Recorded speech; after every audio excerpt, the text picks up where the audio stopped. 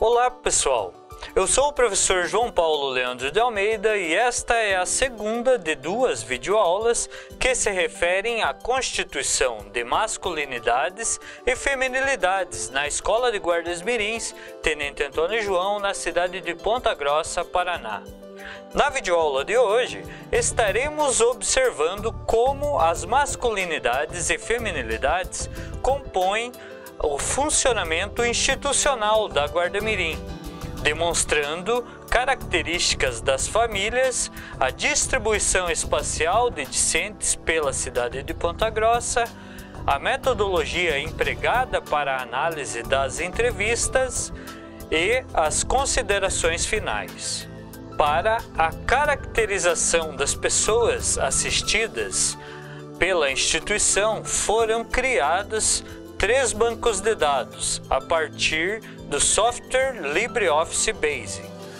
O primeiro se referiu à lista de espera à vaga, com 1.727 cadastros. Dentre estes, foram identificadas 1.007 características das famílias de candidatas e candidatos à vaga, onde pode ser observado que 85% destas famílias sofreram dissolução conjugal. Outros aspectos na conjuntura destes dados também foram observados.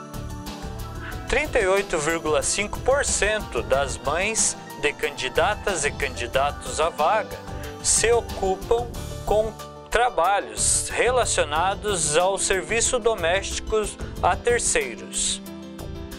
Dentre os sujeitos pai, quando presente na constituição familiar, aproximadamente 42% efetuam atividades relacionadas à construção civil o motivo de procurar apoio social na instituição destaca a afirmação para não deixar a criança ou o adolescente sozinho. Os outros dois bancos de dados foram compostos com os cadastros de discentes de 2013 e 2015 além de demonstrarem características reflexo da lista de espera, possibilitou a construção de cartogramas que demonstram a densidade demográfica de alunas e alunos da Escola de Guardas Mirins nos dois anos. Ficando claro a distribuição por toda a cidade, com maior concentração na Vila Nova, próximo da instituição como também a diferença na concentração de moradias de alunas e alunos. Como afirmado na videoaula anterior, a Escola de Guardas Mirins foi criada para meninos, com a inclusão de meninas como alunas em 1976. Porém, de acordo com os dados documentais obtidos junto à instituição, elas foram registradas no caderno de registro de matrículas apenas 11 anos mais tarde. Neste gráfico, podemos observar o volume de meninas e meninos matriculados no decorrer dos anos de 1989 a 2014. A linha de cor laranja representa a matrícula de meninos, enquanto que a linha roxa representa a matrícula de meninas. Estas linhas sustentam outras duas linhas de tendência, demonstrando que enquanto o número de matrícula de meninas é ascendente, a de meninos é descendente. Chamam a atenção para os anos de 2000 a 2008.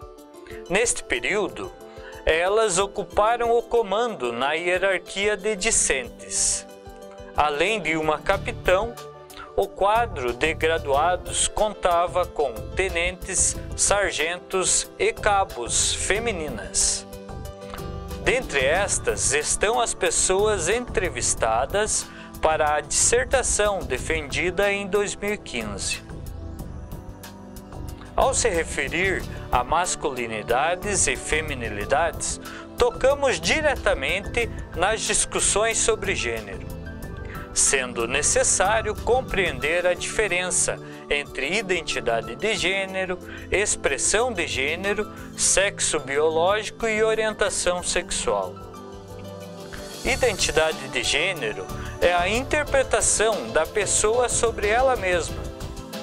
Expressão de gênero tem como base papéis tradicionais de gênero, englobando ações, vestimentas, interações e comportamento.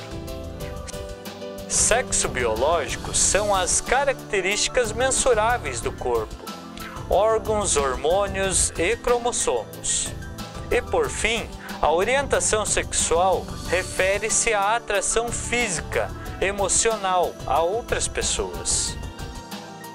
Falado isso, para a realização do trabalho de conclusão de curso em Geografia, 10 entrevistas com alunos de 14 a 16 anos foram realizadas para a análise destas entrevistas, foram aplicados os procedimentos dispostos por Laurence Bardan no livro denominado Análise de Conteúdo, publicado em 2002.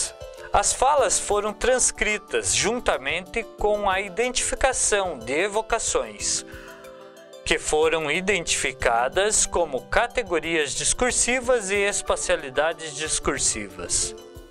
Esta etapa contou com a utilização de bancos de dados para a organização e separação. Estes procedimentos possibilitaram a criação deste grafo, onde pode ser observado que o conjunto de categorias discursivas atribuídas à Escola de Guardas Mirins estão, em maior par parte, relacionadas ao trinômio metodológico dela. Na dissertação em Geografia, a análise foi efetuada em nove entrevistas com alunas egressas, que fizeram parte da Guarda-Mirim entre os anos de 2000 a 2008. Os métodos empregados para análise foi uma conjuntura entre a proposta de Bardan, citada anteriormente, e o trabalho denominado Ofício, Engenho e Arte, Inspiração e Técnica na Análise de Dados, de autoria do professor Edson Silva e da professora Joseli Maria Silva, publicado pela Revista Latino-Americana de Geografia e Gênero em 2016. A técnica proposta por estes autores é baseada em procedimentos utilizando uma sequência de softwares livres, atribuindo flexibilidade em sua aplicação, o que permite superar a posição baseada na dualidade sujeito-objeto. Trata-se da criação de uma rede de categorias a partir da rede semântica. Através da aplicação dos procedimentos propostos por Silva e Silva e o afunilamento para cada uma das espacialidades discursivas identificadas, chegamos às redes solares de cada espacialidade, com as bordas ocupadas por categorias discursivas identificadas na mesma evocação. Nas duas pesquisas, pôde ser observado que no discurso das pessoas assistidas teve grande influência os elementos que constituem os trinômios metodológicos da instituição. Estudar, trabalhar e progredir, disciplina e hierarquia e evangelização cristã, e igualdade, liberdade e fraternidade o que pode ser observado nas conexões com a espacialidade discursiva da Guarda-Mirim. Esta espacialidade complexa que reflete as condições espaciais e temporais da sociedade onde se insere, se demonstrou como uma forma de prevenção a feminilidades e masculinidades periféricas. Contudo, A aplicação da metodologia da instituição foi criada para meninos e se aplica também para meninas, constituindo assim feminilidades e masculinidades distintas a outros espaços-tempos. Encerramos aqui esta videoaula, desejando a todos e todas bons estudos.